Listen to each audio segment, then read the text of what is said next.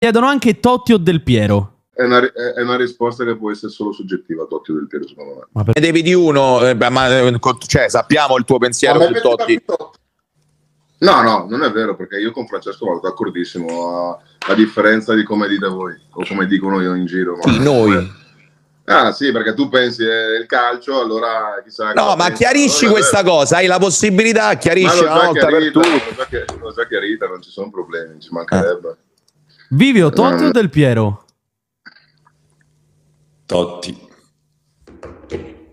Totti. Forse dico Totti. Comunque ho risposto, alla fine ho risposto Totti per il calcio che piace a me, Totti era più fantasioso secondo me, quindi Del Piero era più finisher, poi aveva una tecnica allucinante. È dura fare un paragone tra Del Piero, Totti, Baggio, cioè